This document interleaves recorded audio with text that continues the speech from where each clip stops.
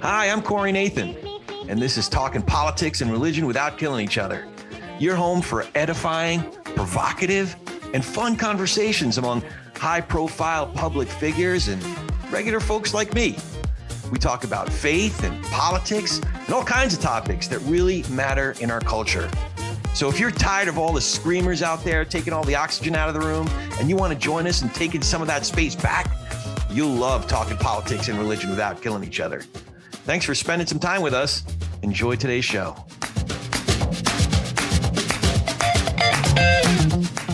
Welcome, welcome, welcome. We are talking politics and religion without killing each other. I am your host and so grateful to have a place to talk about faith and politics and big ideas in our culture with all kinds of interesting, accomplished folks of goodwill in good faith. It's really easy to find us and support us, as you know. That's on politicsandreligion.us. Politicsandreligion.us. Check it out. Becoming a patron will really help us continue to have conversations like the one we're having today with Timber Hawkeye.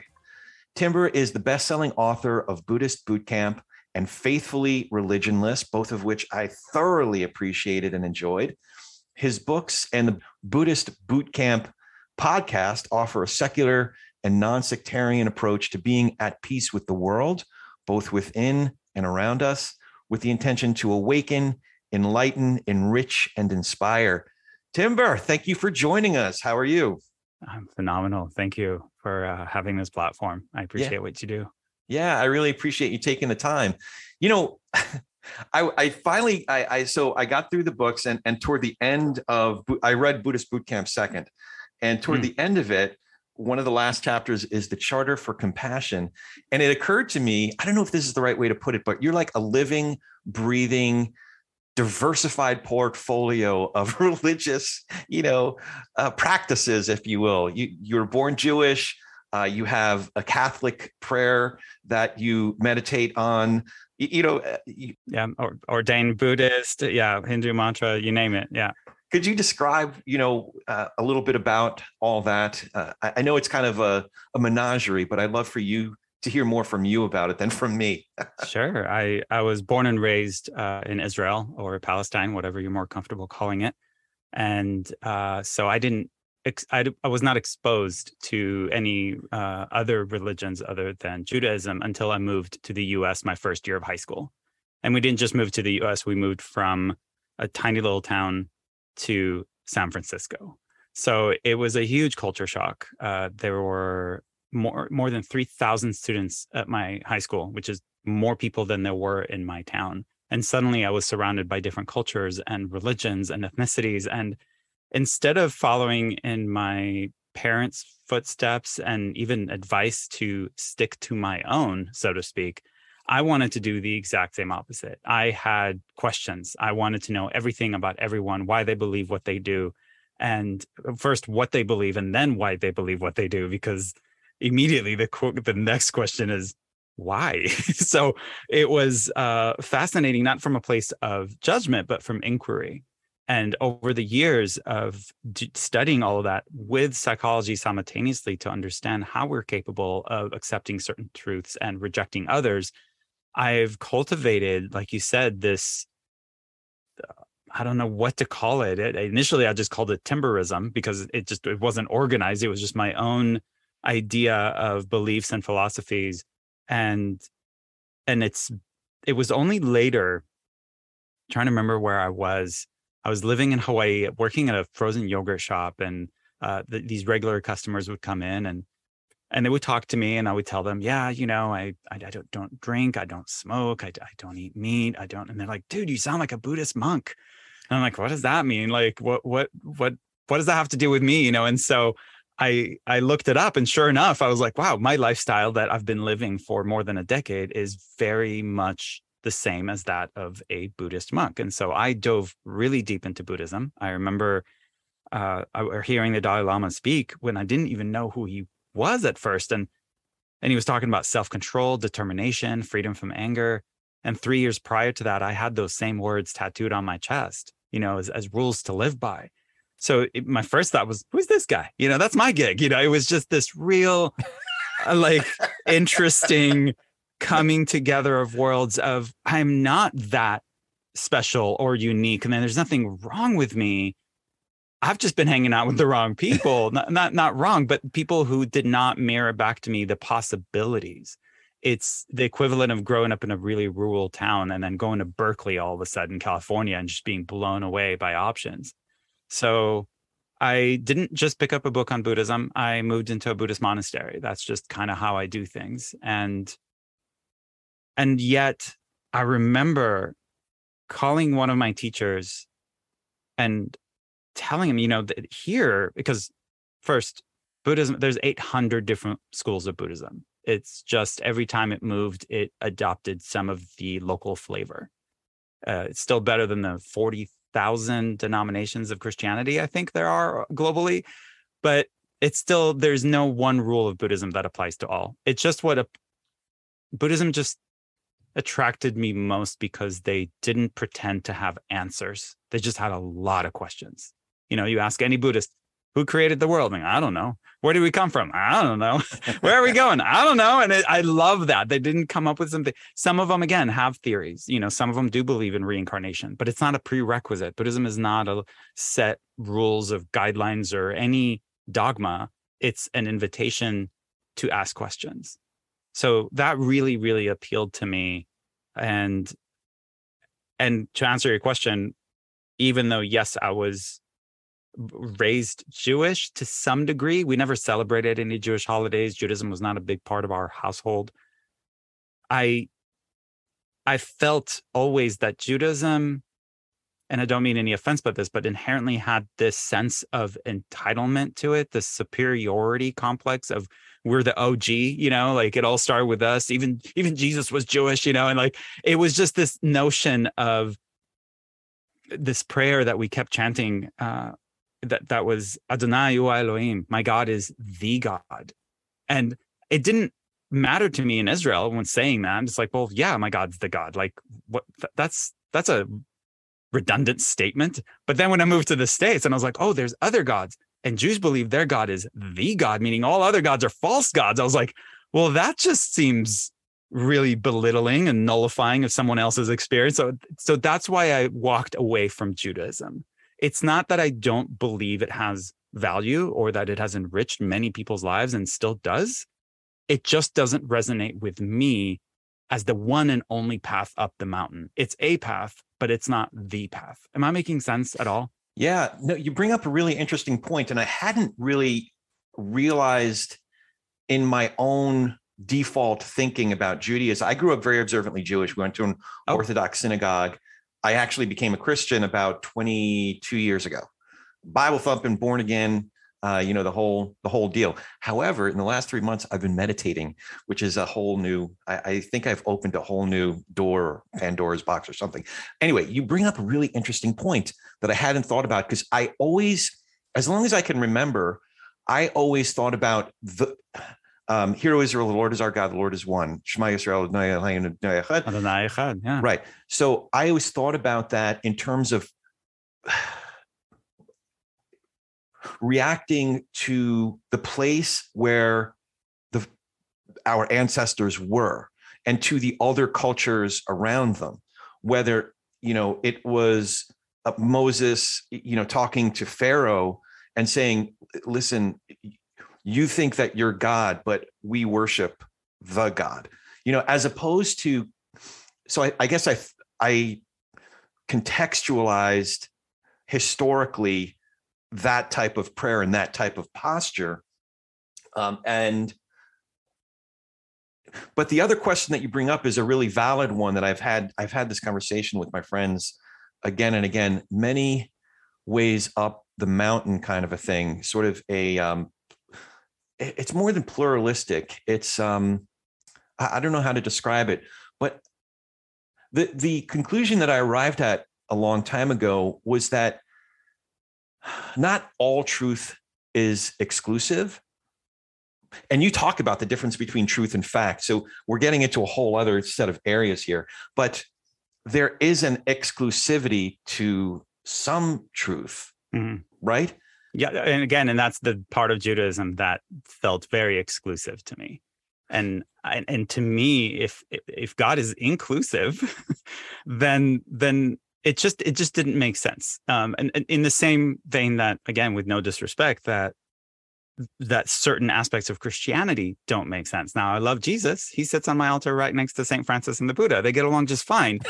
But but in the words of Gandhi, I, I love your Christ, not your Christians. And I think there is a distinction. And I, and I always say, you know, don't, don't worry about being Christian, be Christ-like. Don't worry about being Buddhist, be Buddha-like. You know, just let's not get attached to the label because that gives us a sense of identity, which is again a slippery slope to a superiority. It's like, oh, well, I'm Christian, or well, I'm Buddhist, or well, don't tell me which, show me.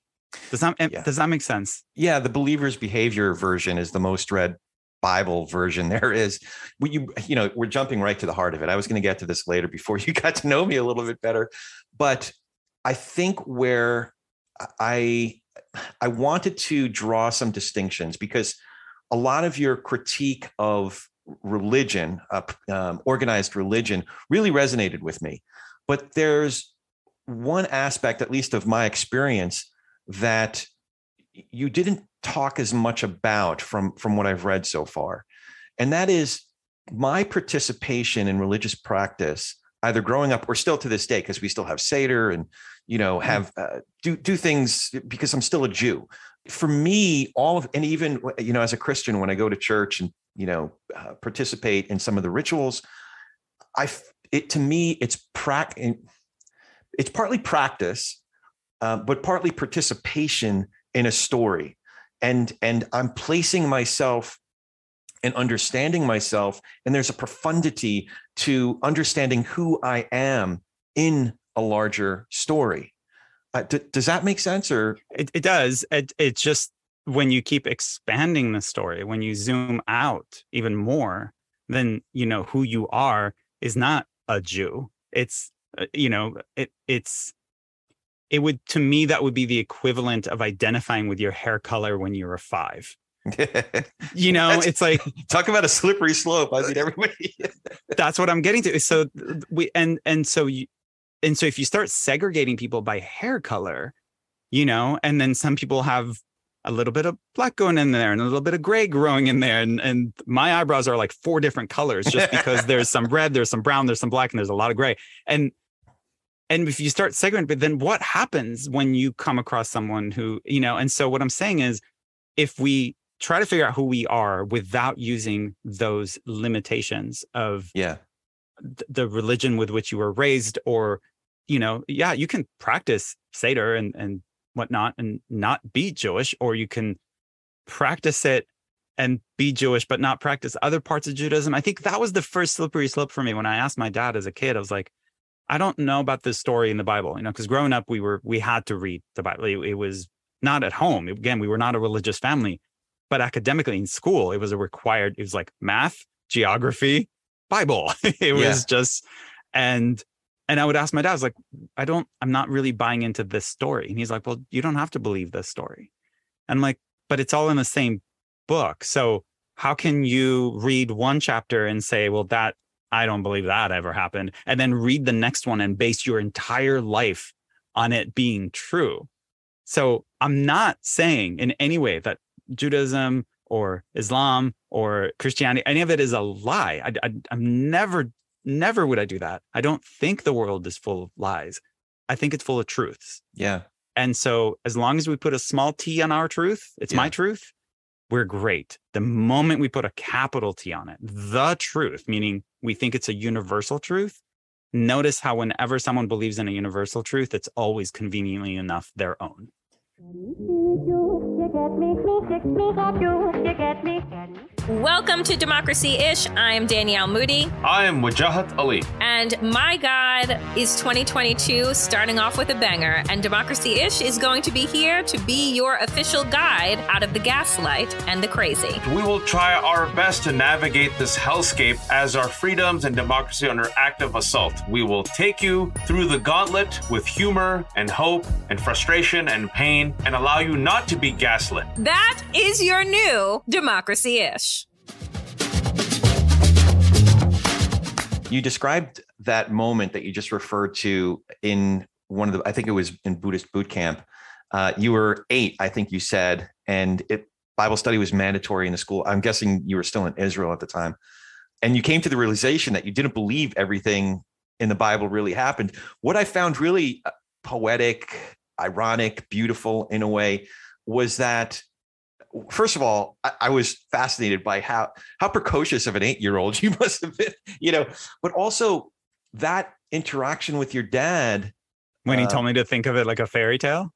Well, yeah, like read it like literature in a way, but yeah. also it also sparked uh, an enthusiasm to study religion. Yes. So that that to me felt ironic, but so like go, going said, back to Moses, you know, oh, you believe in these gods and we believe in this God. Instead of going to the Pharaoh and going, tell me more a little bit about your God. Like I already know enough about mine. I don't need to tell you about mine. I know mine. Right. I want to know about yours.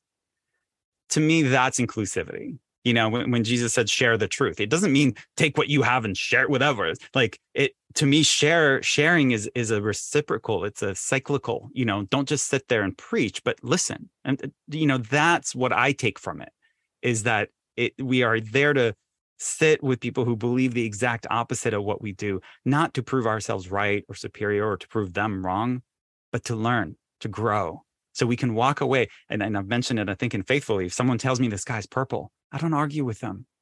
I don't need to prove to them that it isn't. I don't need to tell them what.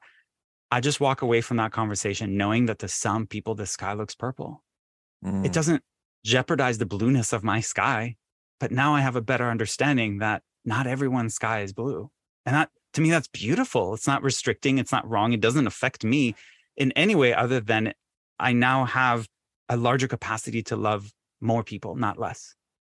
Yeah, yeah. I, I you're just we're already describing what I've been most at odds with because I came to Christianity quite late. Christianity, I think, especially contemporary American evangelicalism, has a tendency often to look a lot more like colonialism there's this sort of we own this this is ours and mm. to the extent that you agree with us on x y and z principles you're welcome to be part of you know the i don't know the the, the ones who own it you know? So i i don't know there's that um there's that sheen to it that i'm like that's not quite what i'm reading because i read i read i, I like to think that i read i read my, the bible every day.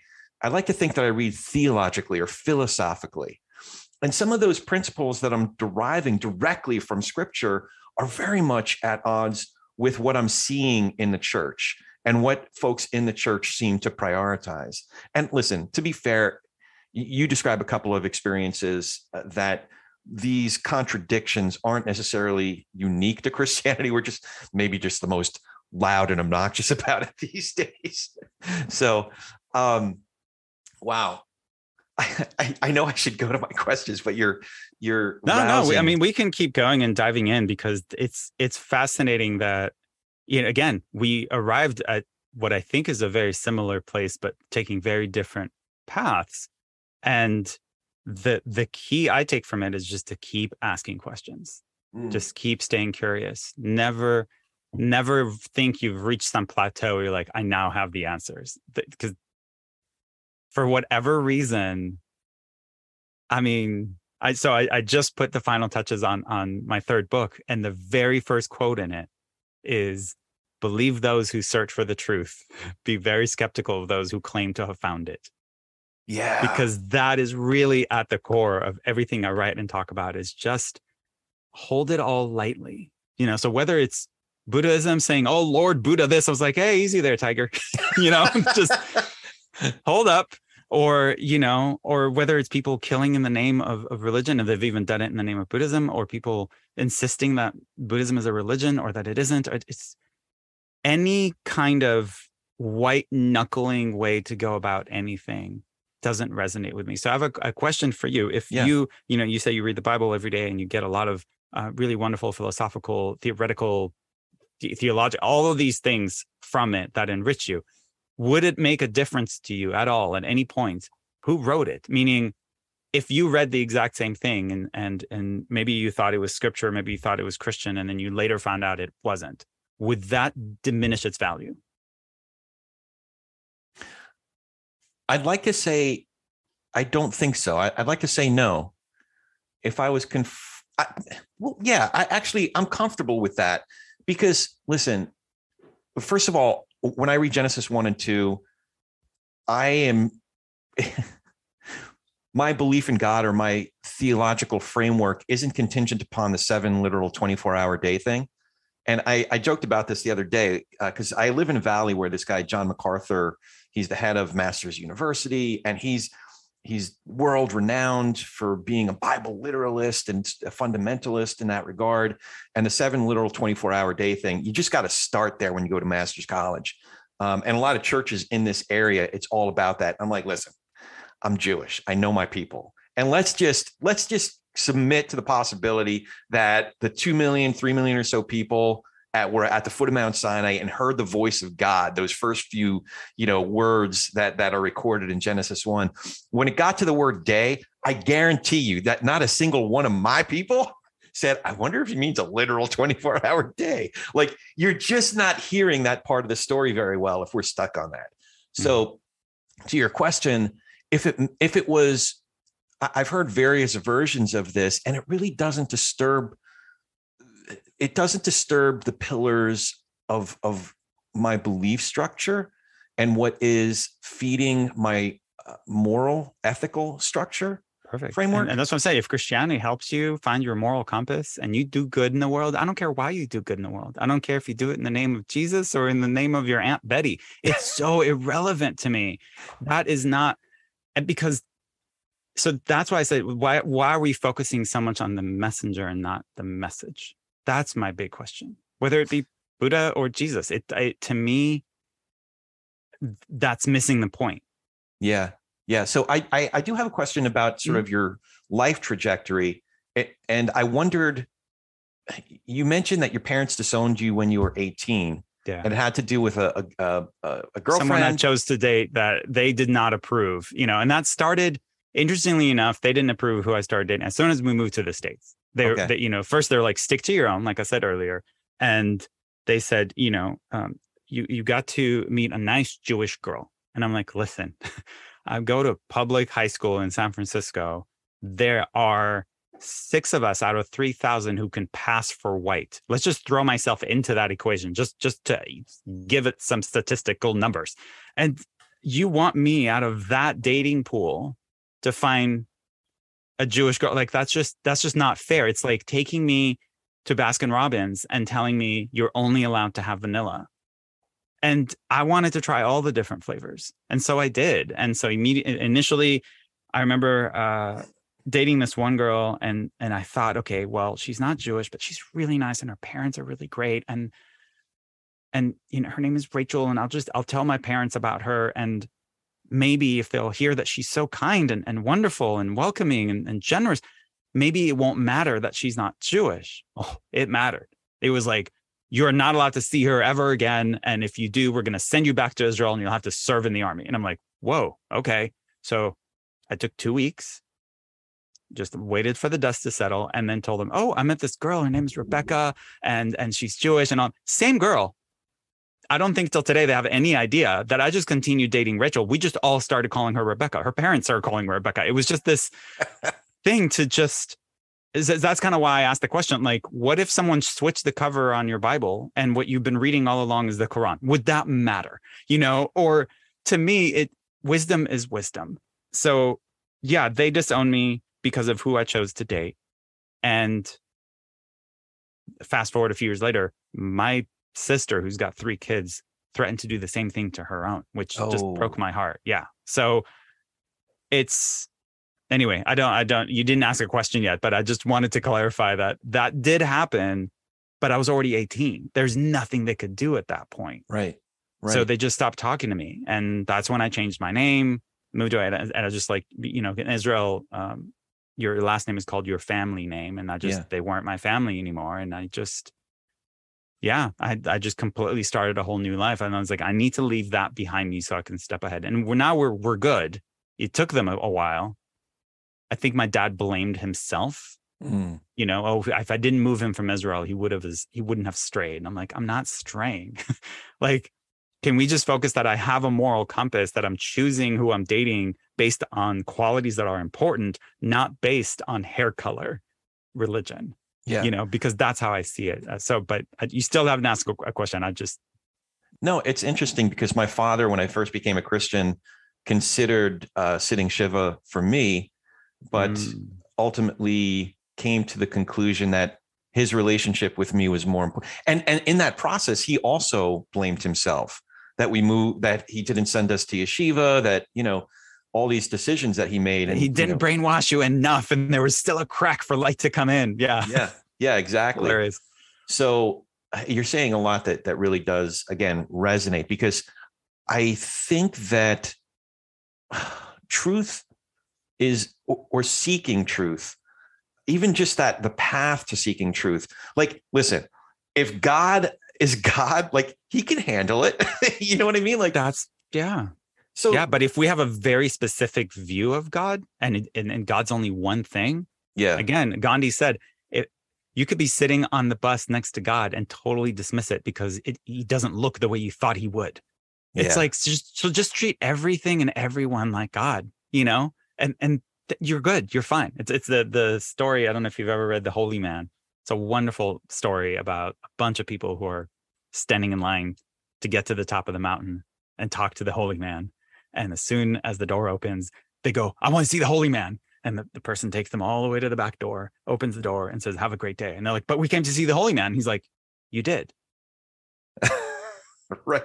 And Jesus, Jesus actually talks about that. I'm sure. I'm sure. But the, I mean, the, what the beauty of the story is that every chapter is actually about a different, about the stories that are happening on the trail to get to the Holy Man. Like that's where the story is. Mm, That's where the growth happens. Is Right. in line to see the Holy Man. Once you get there, it's like, oh, okay.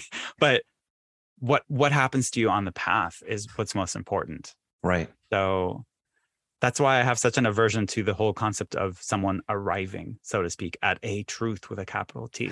No, I mean the, the best answers that I've arrived at aren't really answers per se. They're more like, oh, I see. It's it, I just kind of opened another door to like a thousand more questions. So exactly. it's uh it can be frustrating for those of us. I just want, you know, like But and that's so that you're describing, but you're describing Buddhism. You're describing the concept of Buddhism that pain is inevitable, suffering is optional. So the part of you that gets frustrated is Yeah. because you are you keep trying to grab a hold of something very slippery. What if you just stopped trying to grab a hold of it and just Yeah. watched it just do what fluid does and just flow and just be like, okay, God is this and God is that and God is this and that and it there's nothing God isn't. So stop trying to put a cloud in a jar. Like just you know that's because that that is what's causing the suffering it's that attempt to do what is undoable okay. So you keep on opening up this like whole thing that I got to ask you about. You describe, oh boy. Well, one of my favorite things that I'm really kind of reckoning with since I first read it. Uh, you quoted, you use it a couple times. I think you ended Buddhist boot camp with this. An easy trek in the wrong direction is ultimately far more exhausting and devastating than an uphill climb toward euphoria. euphoria. Yeah. Can you just go into that for me a little bit? well we we tend to try to find the easiest path uh we're like oh i'll take the easy route i'll take this i'll take that because we want a simple and uncomplicated life where we want to be happy. And and we see for example up the mountain we see a little sign that says happiness you know quarter mile that way. Okay and then another sign says happiness 10 miles up the steep mountain. And we're like well i'm going to take this one. Well that sign was either uh, pointing into another path that goes into another path and or it goes around in a circle and all whatever it is it's i'm trying to, to to find a way to say an easy path in the wrong direction ultimately is far more devastating than an uphill climb toward euphoria. So meaning don't always take the easy path. It's not necessarily it's not going to take you where you want to go. You know it's it's right in line with no place worth going has any shortcuts you know? Just why are we afraid to take the harder path? And i'm not saying make our lives difficult. I'm saying if it's frustrating for you to keep trying to find a truth, something you can say, okay, I'm going to carve this in stone. And it's really frustrating because the moment you carve it, the opposite is proven also true. And so you're like, okay, scratch that. It's it's the, the guy with the tattoos of all his girlfriends' names, and he keeps scratching it out, scratching it out, and putting a new name in. What if you just stopped searching for a truth and accepted it all as true? That's that sounds harder because then you're like, but I don't I don't have any label on this jar. It's like, yes, but ultimately it's a lot easier because you're not chasing your own tail. Right. I don't know if I'm explaining this well. Well, you're tapping into a, a, concept that comes up in a few different forms throughout your work and and your on your podcast. And uh, I've heard you speak in person. Looking forward to seeing you again. So, well, there was there was one part where you you were talking about beliefs uh, and fears, anxieties, judgments, despair. And then I, th- I don't know if this is in one of the um, guided meditations that I was doing, but somebody was talking about noting our thoughts and feelings. Said, "Oh, that's oh no no, you talked about it when you were like your leg fell, like you were you uh, diving off a cliff and your leg mm. broke off basically, and you're like, oh, that's interesting." So, and then but kind of let it go. So I was hoping that you could describe that a bit more not not just like physical pain physical experiences but it's it's related to what you're talking about now like not trying to contain it's it's avoiding the adjectives because adjectives what they do is they they define of course i mean that's the that's the purpose. They define something you know this is good this is bad this is right this is wrong this is pleasure this is pain you know and then it's just like we keep categorizing everything that way and then you know we are biologically programmed to speed up the thinking process from when we were children to know, oh, this is safe and this is dangerous, you know, so we don't have to keep putting our finger in the socket. It's like, oh, yeah, yeah, been there, done that, learn the lesson. I don't need to put my finger into every socket to figure that out. it's so that's kind of the idea. And, you know, if it saves us from tigers, great. But if we aren't careful adjectives can work very much against us. There's a chapter in the book called Watch Your Language, I think. And it stemmed with uh, this guy was telling me that uh, he came up to me and he's like, Oh man, this was so great. And I really enjoyed um, listening to you. And because ever since, you know, I went through this horrible, painful divorce 20 years ago that was just tragic and traumatic and it tore the family apart. And I'm, I'm like, Can you tell me the story without using adjectives? Mm. And he said, I went through a divorce 20 years ago. I'm like, now isn't that lighter? And he goes, Yeah, I think every time I tell the story, I add another adjective to it, you know, right. tragic, traumatic, horrible, painful. It's just, it's done. You're still here. And I'm not being minimized or nullifying the experience. At the time, it was, but we're not there anymore. So, it, again, going up the mountain, you picked up some, like, what if you just every rock you came across, you put in your pack and then you're climbing the rest of the mountain with all of those rocks every single time? It's just honor it be like yeah that was that was tragic at the time. That was horrible. That was painful. That was all of those things are true. And here i am. I went through it and i i leave it there and keep going. It's the the you're going through I, I just got back from uh, backpacking the wind river range in wyoming. And so i apologize that all my references are to climbing and hiking and crossing rivers but the this notion that you need to cross a river and there's a boat it's like oh, okay i'm going to use the boat to cross the river. But then you're like well what if there's another river? So you take the boat with you on your back in case there's another river. It's like there was a boat when you needed one. Trust that there's going to be a boat the next time you need one or a bridge or something. Like just it we lack so much faith and trust even within the religious community. Every time i speak at a church the first question i ask is how many of you believe in god? And they all raise their hand and then I say, How many of you worry? And they all raise their hand. And I'm just like, You realize you can't do both. You can't believe in God so firmly and worry because when you worry, you're implying God, what, missed the memo or that God is not paying or that if having faith in God means having faith in her timing, just, just can, can you accept that? And, yeah. And they realize, and that's like, yeah, I'm, when I worry, I'm not in touch with my faith. And when I'm in touch with my faith, I don't worry. Yeah. It's yeah, just like psychologically, we can't entertain two opposing thoughts. Like when you're angry at your spouse, you forgot how grateful you are to be married. When you are so consumed with appreciation, whatever you're angry about goes out the window. We cannot entertain to to oppose it's cognitive dissonance. We we can't. So so we introduce these third thoughts, but I don't want to get too deep into that. But I forget even where we started with this thread, but but what you're describing is either a learned skill or the ability to unlearn baggage that's it's, holding it's, you yeah, back. It's both. It's both. It's and. I remember now we were talking, we like naming those demons, like, oh, that's interesting, not using adjectives. And just if you insist on using adjectives, if you insist on using your creative mind to label, just that's interesting. Because interesting is it's not wrong, it's not right, it's fascinating. It's just like awe inspiring. Like I want to know more. But leave it there. Just so yeah, naming those demons, honoring it, going, that's interesting. And that's it all stems from that, just not labeling because labeling is segregating. Segregation has never solved anything. So it, again, if we believe in in one and that we're all connected and all, then stop separate. I, I don't know if that makes sense. It's just so I don't know if it's a learned be. It is a learned behavior because we can teach ourselves when our mind starts going, oh well, that's bad. And it's like, well, okay, add the words for me and mm-hmm. right now to the end of that sentence. So, yes, it's a learned behavior because I wasn't born a monk. I had to practice because I was trained to label things and to see spiders and go, ooh, spider bad, kill it, you know, and go, wait a minute, spider not bad, spider lost, spider wants to be outside, you know, that that's yeah. but that took training to not react, but instead respond. And that's what mindfulness practice does. It introduces a pause between impulse and response. So, yeah, it's learned behavior. I don't think I have some superpower.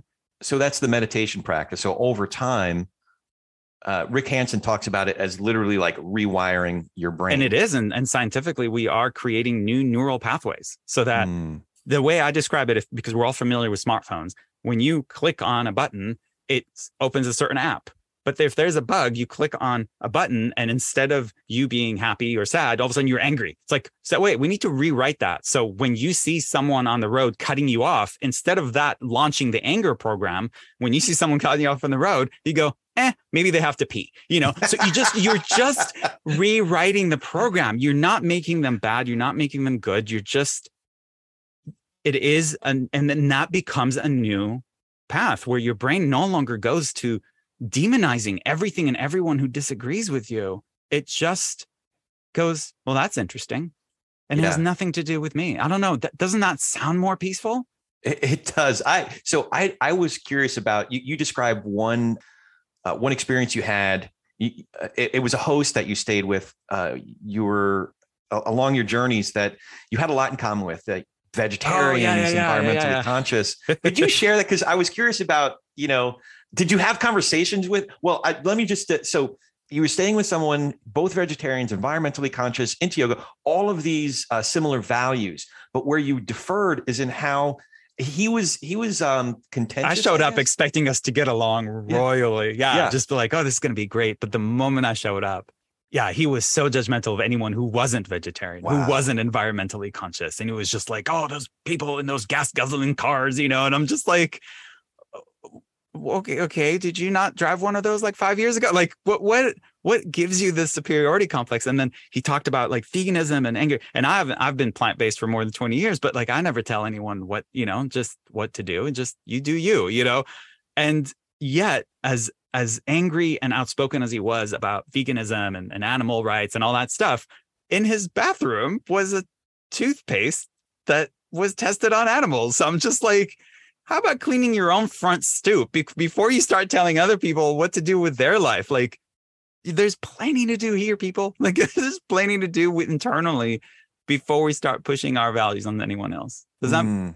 I don't yeah, know if that's what you were getting at, but it was just fascinating that I thought we would get along so well, but he was so full of anger and rage and self righteousness that we didn't get along. I, I because th- I wasn't self righteous enough for it. You know what I mean? It was just so fascinating that yeah my being p- peaceful pissed him off. right, right. But that's also, I wonder though, now that I'm thinking about it, is that sense of like we're all evangelicals in a way, like we're just evangelizing our own shtick, you know, our own thing. Um, but is is the evangelizing part like the the feeling compelled to sell it or impose it on others is does that come with the territory No, or is I- that tendency learned over time that comes with insecurities. If Mm. you are secure about your beliefs, you don't need to tell anyone about them because you're secure. You don't need it validated. You don't need it confirmed. You don't need anyone to agree with you. It's just your path. You're good. You're golden. But the moment you are insecure about it, you're not sure. You need it validated. You want to hear it back. You want to feel affirmed. You want to get, yes, there's a billion people behind me who believe the same thing. So I, I do think it's a learned behavior. Nonviolent communication, NVC, which is a wonderful study of how to communicate with one another, literally calls unsolicited advice a form of bullying. If someone didn't ask you, you know, and you're telling them, you're you can't give by throwing, you know, like they didn't ask for it. So that may feel like you're it, it's just and we don't like it when you, people do it to us when people tell us what we should do again nvc the word should is the most hostile word in our language. So i don't think it's inherent. No i at all. I don't i don't yeah i love how you explicitly say i think toward the beginning of buddhist boot camp there are no shoulds in this book. Like Yeah. okay. And let me tell you with this third book the reason it, it was so delayed is i um i contacted one of my favorite authors and i asked him you know who's your editor? Because i need to find a, a really good one. I can just give this material to trust them with it and then get it back and just trust them that they, they know what my intention are. They've read my other books. They understand. And i found one and uh, he referred me to to her and uh, she went through she read the other books and i told her no should statements. These are all personal stories that i'm just sharing with my experience the personal stories is what they're not personal at all meaning we're all battling similar demons there's nothing unique about me and so it's about making it relatable you know and conversational and there's no there's no shoulds. What i got back from her almost a year later was so the exact opposite of what i asked. She Oh. literally went into every chapter took out the personal story and added the word should or shouldn't. So she turned every personal story into a lecture oh wow of saying, I have arrived, here's what I know. And I'm like, whoa, whoa, what, what just happened? I just, I read through the whole thing and I was just like, this is so not what I, and she acknowledged it. She's like, I'm really sorry. I don't know what happened. I, I typically pride myself in my ability to communicate. Something went, here's all the money back. Just figure it out. And so that's why it was so delayed because I had to go through the whole process all over again. But yes, you're right. No should statements, no pushing, just I mean, the the way we feel interconnected to one another is through vulnerability and honesty and just raw awareness of like, here is what I'm insecure about. And someone goes, Oh yeah, me too. I'm like, great. You know, that's that we have that in common. Now, hair color doesn't have to be the same, but our human experience is very much alike. So the first book, Buddhist Boot Camp, is really a collection of uh, communications that you had. Um, Yeah, when I when I sold everything and moved to Hawaii and and quit my job and everything, and I just sent a letter to my friends every month to let them know what's going on with me. And after eight years, one of my friends said, "You need to publish those letters." That's So, yeah, awesome. ev- Every every chapter is only about a page long, and you can read them in any order.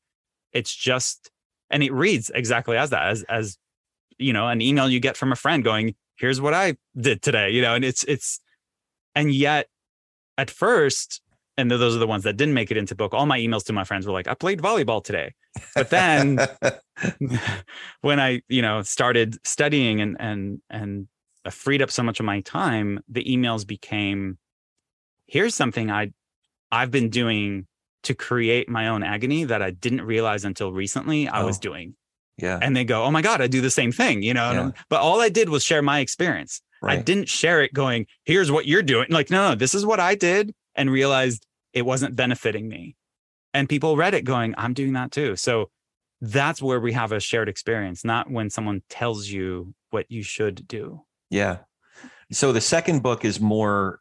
It, there's a lot of similarities because you can, you know, mini chapters. And I was, you know, as I was reading through it, I'm like, I'm going to go read through these again, but I'm just going to like let Yeah, them. Sit It's more in a place. conversational. Yeah. It's Yeah, because and you like I can I can read a page or two and then just go meditate on that for a bit. Yeah. You know. So the second book is a little bit more story, your your life story, stuff like that. yeah what happened was after buddhist boot camp people really wanted to know the story behind like how did you get there and i'm like yeah. You know, Yeah. because I because I toured with Buddhist Boot Camp for three years. Oh, wow. Three consecutive years of sleeping on a different couch every night, uh, just across UK, Australia, and then I was and and the questions, no matter where I went, were kind of similar. Like we want to know the story behind the story. How did you Buddhist Boot Camp's great, but how did you get there? Where'd you come from? So that's what the second book answers. If you and I were to go on a hike together and you were to say, "Tell me your life story," blah, that's what I would tell you. That's Mm. faithfully religionless, and that's how where I arrived, realizing I have a tremendous amount of faith. It's just not tied to any religion. So I think going back to where we first started, it's really important for me, especially with my work, is that religion, God, the Bible, the church, they're all very different things Yes. completely separate. So you can Yeah. have faith in God and hate the church. You can love the church but not really believe in God. You you know what I mean? And then you can love God. My friend, oh my gosh, she's the one who introduced me to this idea. She was the most religious person I've ever met. And yet she never read the Bible. And I was just like, "Oh, what? And she's like, my experience with God is very personal to me. Since then, she's married a preacher, you know, she's all the stuff, she's all about it now. But growing up, she had so much faith in God, but it wasn't because someone told her to. It wasn't because she read it in a book somewhere. So that was really mind blowing to me that no one shoved it down her throat. She just had her own experience. I was like, wow, tell me more about your God, you know? So for me, God, church, religion, Bible, very, very different from one another. You don't have to, it just, this is your path, you know? Uh, again, and through hiking, that we say, hike your own hike, you know, do it what works for you. Like I, I don't know. It's, it would be so detrimental to tell someone how to do it. Okay, so I want to ask you about the third book, but since we're talking about this, Mm. I think there there are a couple other I don't even want to call them issues because it that makes it sound uh, like we're at odds with each other. But Oh. it was just more like, well, that's different. So one is one of the things I derive from religious experience is that we're more in community than we are in isolation. And at times I felt that, you know, it's like what I was thinking of was was jazz. You know, Monk is a brilliant, Thelonious Monk is a brilliant, you know, virtuoso of the 20th century. He was even more brilliant when he was playing with Coltrane. I don't know if you're into jazz or anything, but you know, or or and I know you're not really into sports, but um, but like one More player, so than jazz, believe it or not. okay. so one player can't play every position at once no, no. you know uh, but i was also thinking of it like when we go through life when we're celebrating something or when we're in mourning about something it's life is much more livable when we're in the company when, when we're among loved ones and not it, it- it's much more excruciating if you will in isolation so at But times we're I- never alone. That's just it. That's the notion that your community, and again, I don't I don't think we're at odds. I just I'm alone a lot and I'm never lonely. My community is everyone outside my door. It doesn't matter what they believe in. So my sense of community doesn't derive from people who all believe what I do, who all Okay. read the same book. right This I is just a yeah. So Yeah. there's still a tremendous sense of community. I mean, it's just not limited to people of my color or my faith or my that's so limited because that that implies someone of a different that doesn't relate or can't understand the, the human experience or in fact it minimizes my human experience if they only uh, there's a chapter in the book called echo chamber that you just end up hearing what you already believe and it just reaffirms what you believe and it's just it's not growth it's stagnation. I don't right. That that's makes that's sense. my issue yeah. So it's you're sort of letting go of that um, possessiveness or territorial, like the my people ishness of it. Yeah. yeah so much so that yeah i mean i mean beyond people you don't look at at cows or pigs any different than you do with dogs and cats. Like we're all beings on this planet. How can you justify you know petting one and eating another? It just doesn't just does not make sense to me except in our own little egotistical world we make this okay and this not okay and we need to be around other people who are also doing it because that makes us feel better about ourselves. No one wants to hear good news about their bad habits they hate it. They just need to be surrounded by people, by community who reaffirm for them, you're a good person, everything's okay, you're you're gonna go to heaven, everything's gonna be all right. And it's like that's what we want to be around.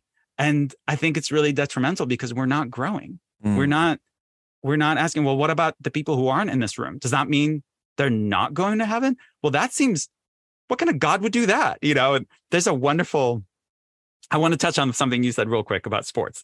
So I grew up watching my dad play indoor volleyball, and I started playing a lot of indoor volleyball when I lived in Washington. And then when I moved to Hawaii, I switched to beach doubles. But every tournament, every game, every team I've ever played with, yes, each player has their role, right? There's a middle blocker, there's a libero. Typically, a libero, which is the back row player, he's the defensive specialist. He's like five foot two to five foot six. Tiny, agile, quick, fast, and amazing. They're my favorite player on any team. But a libero can't be a middle blocker. Middle blocker is typically six foot seven. You know, they're huge, they're massive, they're there to block the ball. Yeah. However, every coach I've ever had made us just be so capable of passing, of blocking, of hitting, and of setting. So we know each doesn't mean we're going to be a star at each role, but it means we can if we need to. It's just about expanding your athleticism and even appreciating you know what other players on the team do. If you if you want to step away from sports i loved it when i worked for companies where you cannot be a manager because you were hired on as a manager. You had to have started out in the same place as everyone else on the floor. You had to start cleaning the bathrooms. You have to start you know doing the inventory. You have to start by everything so that at no point does a manager ask something of someone that they didn't have to do themselves everyone. I, I had a, a friend who worked at a hotel. He, was hired to work the reception desk but before he answered a single phone call he had to spend an entire month doing housekeeping doing janitorial work doing uh, the catering everything so that at no point as a receptionist does he not know what everyone else in the building is doing what their job looks like and what you know uh, does that make sense? This notion of understanding that everyone has an important role to play and no one's more important than the other Yeah. Yeah. Now there's um a fella who this company I'm involved with. I, I invested in a window cleaning pressure washing company about 10 years ago. And uh, a friend of mine came into the company and he was originally just going to hang out for a couple months, do some sales because he's, you know, very accomplished salesperson.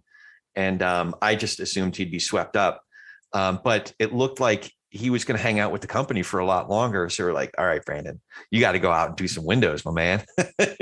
and he fully embraced it. It gave him so much credibility with our crew because he understood what it was yeah like. when you're sending someone on a job you know what you're expecting of them you know it's going to take if someone's like well why isn't my room ready it's like well i've done housekeeping. I know how long it takes to turn a room and know what conditions some people leave it in and i'm not going to get mad at my housekeeping people because they're not working fast enough. Like i get it. I've been there. I've done it. You know what i mean? Those kind of that level of awareness doesn't come from sticking with only people. I mean when i worked at law firms lawyers were not to hang out with paralegals. Paralegals were not to hang out with reception. It was just this really strange, again, segregation. It all boils down to segregation. And I just don't think it's ever solved anything. It only Yeah. creates more problems, hierarchy, uh, exclusivity, and superiority complexes that just the ego thrives on that. It loves it. It feels so seen and but all that's being seen is the ego within, not the God within. The God within is the one who welcomes everyone. The ego is like, oh, you're one of my people. That's why I my issue with community being limited to only people who believe the same thing or are the same color or we speak the same like that's just so limited. I think Jesus talked about all that, right? So yeah. so yeah, just unity being a community being much bigger than people who have the same color as you. So something that you said um, reminded me. My brother has. I mentioned my brother has a few questions. Oh yeah.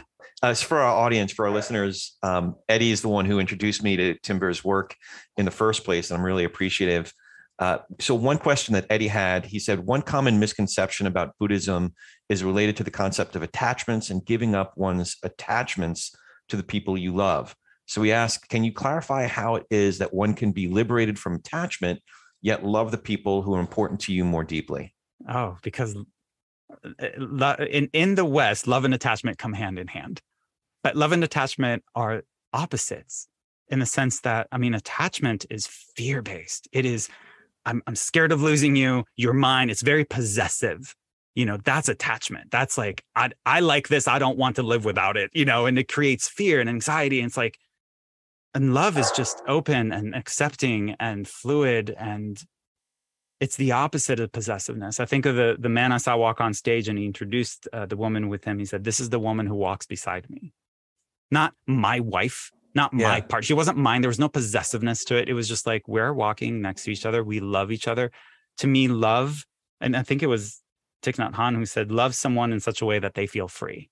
Mm. You know, where they're not confined, they're not restricted. It's it's why I don't understand. Like if you if you love a dog but you keep it tied on the leash in the front yard, like that's I don't understand the the need to control and limit. It's so that's to me non-attachment is is really the the first step to accepting things as they are rather than how we think they should be. So again the should the the, the bullying that's not loving it's it's ironic that you're talking about dogs tied in the clearly my dogs are not tied in the front yard yeah They're i can hear them running and i'm so happy i love it participate in our conversation yes 100% yeah. it's so maybe wrap up with this that many poets and psychologists and authors and screenwriters and philosophers for, for all time have all tried to describe love. And I really think that Dalai Lama nailed it. He said, Love is the absence of judgment. That's it. That's love. The moment there's judgment, there's no love. So I, I just meditate on that, you know, that love is the absence of judgment. It's just that that says everything to me.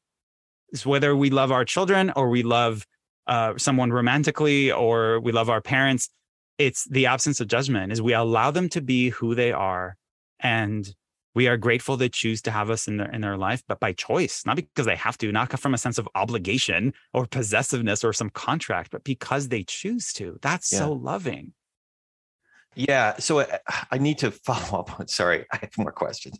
Um, this won't go on forever, though. I I joked about like nine or ten hours. This could easily for me, but I promise I won't do that to you. I, ha- I only have a couple more questions.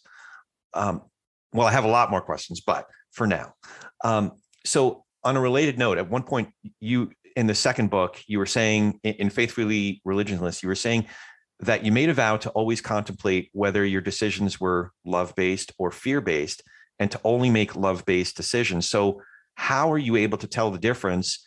And and maybe can you give us an example of what that might look like?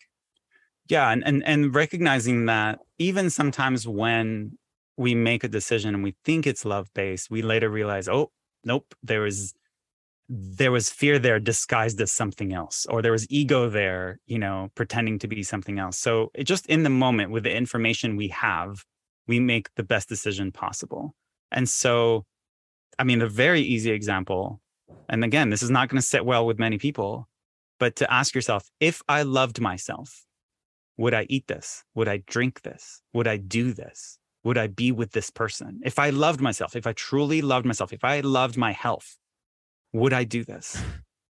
That's a tough question to ask.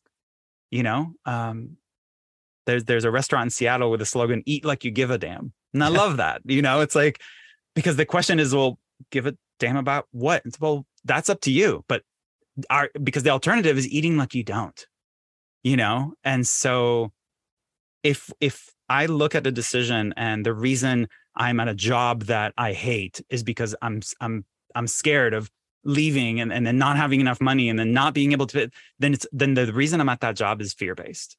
It's not love based. And it's not because I love doing what I do and I trust and I have faith that you know, if when I do what I love, I can actually make ends meet. It's and again, I'm I'm aware that some people are in circumstances that are challenging, but when we make a commitment to make love-based decisions, we don't live in fear. It's it's it's that simple.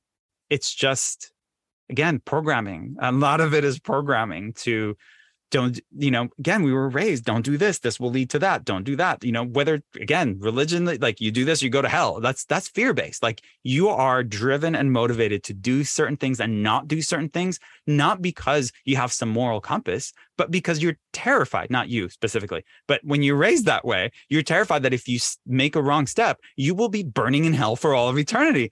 That is a great selling strategy but that's no way to live that's terrifying Am, am I wrong? So, yeah, no, you're not wrong.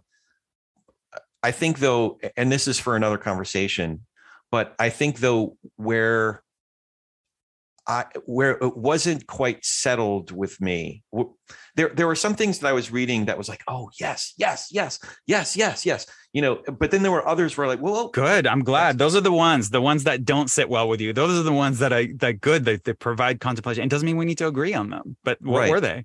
Well, for there were a number of critiques because you studied you're not someone who just like from afar critiques and wags your finger at religion generally. And again, and I'm not wagging my finger at it. I'm saying this this is why I left. This did not sit well with me. Yeah. If it works for you, if your sense, and I've said in the book, again, you know, I said it, it, does offer a sense of community to a lot of people. Religion does a lot of really good disaster relief work in the world. You know, they do.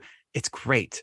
I just I don't understand personally why it needs to be made and done under the umbrella of religion, other than mm-hmm. why not just humanity. But you know, it's I I do acknowledge religion has some really good stuff in the world. It's just not. It's a shoe that doesn't fit me. Yeah, yeah. But that that's I think that's where specifically I thought that some of the critiques were based on religion's abuses or scriptures, eh, you know, uh, manipulative interpretations and and things like that. And I think that the critique needs to include that because religion is abused often throughout history, right? Uh, but yeah, and that's fair because if you read the, the all of you know the entire book, then yeah, you do give a fair shake. And in fact, you have great collaborations. You know, the Grace Cathedral, and you know, like oh yeah, I must. I, I speak at a different church every Sunday. You know what I mean? There is no animosity. Right. It's and it's all just an invitation to make room at the table for someone who is not the same religion as you, not the same color as you, not the same background or race. Eh, just make room at the table for someone else. Yeah. You know, eat eat your chicken, but please make a vegetable dish as well. You know what I mean? Like just right. Make. I'm not going to tell you what to do, except exclusivity is detrimental to everyone involved. It judges which is by definition not loving. And if God is loving and we are to be godlike, don't judge. Yeah. I don't care how you justify it to yourself. If judgment is still judgment, bigotry wrapped in a prayer is still bigotry. You know, I got to a point where uh, I mentioned this guy, John MacArthur, earlier, and I realized he has a lot of either or propositions he has a lot of like either you believe this or you're not a Christian kind of a thing. And I'm like, man, that just doesn't work for me, you know, because either your interpretation or we're all, you know, to your point, going to hell. I'm like, either you're right or you're wrong about that. And I think you're wrong. So at the end of the day, I had kind of an either or about it as well, but mm. also not, you know, to be uh, sarcastic about it, but like, I do think at the end of the day, there are some either or propositions that I couldn't quite get around. Mm-hmm. You know, so I mean, getting into ph- philosophy or or theology, either God exists or there is no God, or it doesn't matter, or it's completely irrelevant. That's another option. That it's just a construct. It's a it's something to keep your mind busy. It's like a, you know, it, it won't get you anywhere. It's it's like a rocking chair it's great but it's not it's not gonna you know what i mean? It's whether or not jesus said it or buddha or muhammad, uh, muhammad that doesn't matter. Why mm. does that matter? That's what i mean. There is another option. It's not either this or that. Just i'm kind of know. there with you but in a different way. Like god's existence isn't contingent upon me believing in god or not. You know? Like if god exists god exists whether but even that even that it's if yeah it's and and i love that maybe maybe we don't know and you're a better surfer than i am I only caught one two foot face one time because I was always looking for the thing like, okay, you know, I can't do this surfing thing, but I got to try it. I got to try it. It's surfing. and that's the idea of you know the first principle in Buddhist boot camp is that the opposite of what you know is also true to Yeah. somebody else somewhere else because of their time, place, and circumstance. yeah. So if we can make peace with that, we can make peace with everything. So at the end of every sentence, just add the words for me right now. And then it just loses that rigidity that I think that you also struggle with with either or or it's got to be this, it's got to be that. I'm like it's it's all of it and it's none of it and it doesn't matter. Yeah. You know, do good for the sake of doing good. Period. Yeah. I'm getting better, I think, at being in the moment. And the meditation is definitely helping with that. And even some, like, is one of my favorite Jewish theologians of the 20th century talked about every moment is another act of creation. Mhm. But it's like the, where we are right now is our intersection with eternity. Absolutely. That's I have a tattoo on my arm of that intersection. Exactly. You know, it's like we get so caught up in the the horizontal, the yesterday, today, and tomorrow, and picking up the dry cleaning and all that. But right here, right now, the, the vertical, the oneness with the divine, with with the present moment, all of that. And yeah, every once in a while, our daily interactions at a you know sync up, and we're in that perfect crux, you know, of that in that moment. But it's not like once you make it, you're like, oh, I've arrived, I can stop. No, Here I am. It's it's slippery. It's just right. there's an old story I heard, and I wish I knew the details to it, but it was a group of women, a group of women who hiked to the, I think the South Pole or somewhere, and, it's treacherous climb, uh, you know, hike to um, in snow and horrible conditions, and it's on an ice shelf that's shifting, you know, and so they're they're constantly checking their their instruments to go, are we heading in the right direction? And it's like, oh, we're there. Well, now we're not. You know, it's just it kept changing, and I think that's exactly it. And so just we are where we need to be right now this is i don't know it's so beautiful to just enjoy the moment because otherwise you're not. You're robbing yourself of the joy in the moment because you're either worried about the past or you're worried about the future. It is just it's a waste of time and time is the greatest gift we've been given and we take it for granted. We we abuse it we waste it we we try to kill time. It's like just love it. Just Yeah. we say we want a leisurely life and yet we rarely do anything leisurely this conversation has been great you know like there was no rigidity to it there was Oh, no i we have to stick to those questions and we have to do this right now and we got to keep it to 45 minutes it was like let's just go and Hang out. see where it takes us and here we I do have a rigid question for you. oh boy here we go Tell me about your third book. oh, it's it's truly about what we've been talking about all day. Uh, it's called the opposite of namaste. Oh. Uh, I know. Uh, namaste, you know, is often defined as you know the divinity in me acknowledges and sees and honors the divinity in you. And that's really easy to do when you're surrounded by people who all agree with you and are all kind and generous and loving. It's like, oh, namaste. I, I, I see the God in you. But what happens when you're surrounded by people who are rude and and mean and cold and insensitive and and selfish and their decisions negatively affect you? Can you can you namaste them too? You know, and I think that the reason for the, the we need something that that implies the opposite of namaste, which is the ego in me sees the ego in you. Like I get why you do what you do. There's an ego in me too. You know, there's a selfish part. You know, I get it. And when the moment you get it, there's no judgment. It it, it it's that there's understanding. There's that level of openness. Uh, at, again, to allow more people at the table. It's everything we've been talking about today. And the book is a collection of the podcast episodes. So every Okay. Buddhist Bootcamp podcast episode is less than 10 minutes long. They're just food for thought. They're one of those things, like you said, you can just read a chapter and then go meditate on it. That's the idea. There, you can read them in any order. They just took a really long time to curate them and put them and just present them in such a way that resonates uh, without a single should statement in the book. Okay, second to last question. Do you have any more questions for me? What do you hope to accomplish with this platform? So my niece, a few years ago, my my youngest niece, uh, Eddie has two daughters, and she said a version of what's now, I guess, it's a popular expression, like "be the change that you want to see in the world." Yeah, it's it's a Gandhi quote, but yes, it's Okay. be the change. Yeah. Okay, so I, because I often found myself having conversations about politics and religion. You know, having been a Jew, growing up Orthodox synagogue, becoming a Christian, having conversations about religion, and then being in the American evangelical church, I also found myself having conversations about politics because evangelical church, not sure if you know, newsflash, it's a lot more political and social, or it, it's driven by a lot more political and social issues uh, than it is about what I why I came to accept Jesus, as they say, was theological propositions. So I found myself having these conversations about politics, and it often did not go well. So I was hoping to be better and and develop a muscle, if you will, or develop a, a skill of doing this thing better, hmm. because these are important conversations. You, you know, eh, but they've been hijacked including by people like me who can be really obnoxious and take all the oxygen out of the room because I'm the most opinionated. And then nobody else, like, I don't know. I, did you say, did I read it in your book? I don't know what you're thinking when I'm talking. you know?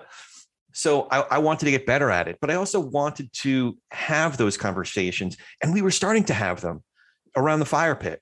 Um, I wanted to have those conversations and then share them with folks that, hey, we could do this thing. We could do, we could talk about things across our differences. We don't even have to come out the other side agreeing on everything. No, no. I, I, yeah.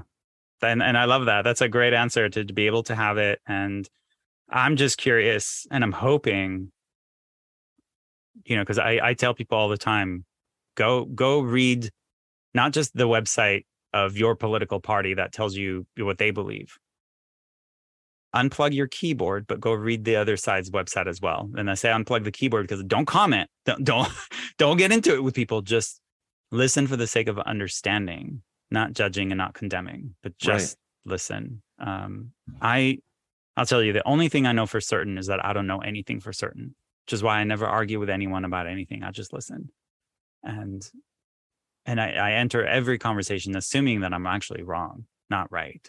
Mm. And I look for ways to where you can shed light on something. It's like, oh, thank you for shedding light on that. I did not see that.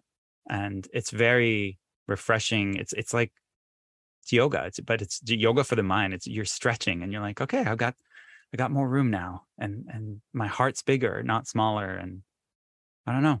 It's a really great. So I'm really appreciating that you are bringing this conversation, and I'm hoping um, what I was saying is that people are able to listen all the way through instead of hearing one thing and saying, nope, I'm out, you know, or reading one chapter in the book that doesn't agree with them and saying, well, then I don't like the rest. It's just keep going, you know, just this is, it won't hurt you. just so listen. It's interesting when I get engagement online, I, I find sometimes the conversations can go really well, uh, but you know, uh, social media is what it is.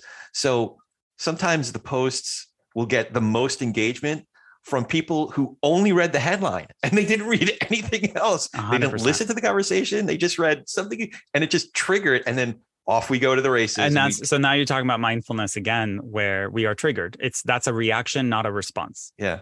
Yeah. That's the difference. That's what mindfulness does is introduces a gap between impulse and response. So if someone reads just the headline and they react, that is not skillful speech. That mm. is a mm. reaction if they respond, if they listen and they contemplated all the points given, and then they go, I have a response to that, then those are probably the, the better conversations you're having online. But if it's just a reaction, again, they're online trolls. Their whole point is just to get more reaction, you know, and and you can feed into it or not. Just yeah, let it sit. It's sad for me when that shut down shuts down a thread because there are other people mm. who are more thoughtful and measured and really want to learn something.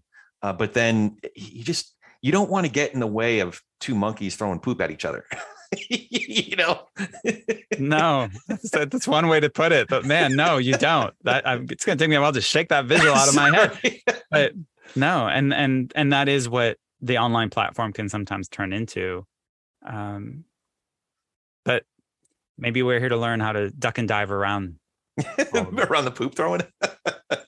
Um all right so hawkeye publishers Buddhist Boot Camp. Tell us how we can find you online and and learn more about all the great work. All of that it, you're doing. uh, BuddhistBootcamp.com or TimberHawkeye.com. They all go to the same place. Also on social media uh, with Facebook and Instagram and, and the, the Buddhist Bootcamp podcast. Uh, that's the reason I'm doing that is because I want to meet people where they are.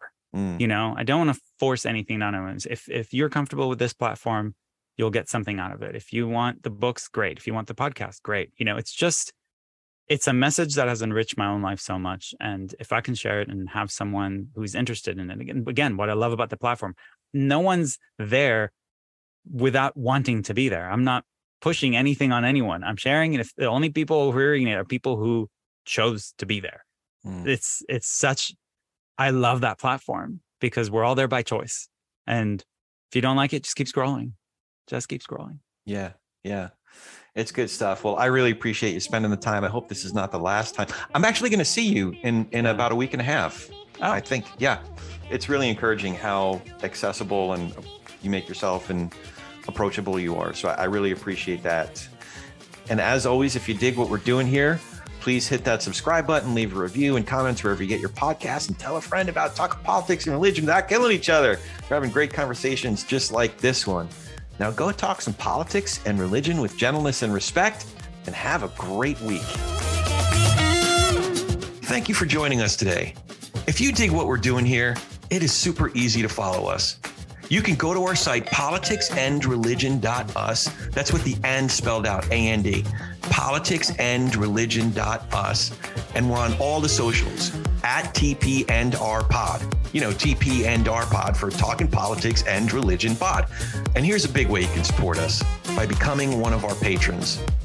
You can even become a producer or executive producer of our program and have a lot more say in who we bring on, the kinds of questions we explore, or just help us keep the lights on. But mostly, we really appreciate you giving us a listen. So, for the whole team here at Talking Politics and Religion Without Killing Each Other, thanks for hanging out with us. We'll be back in a few days to do our little part in Tikkun Olam.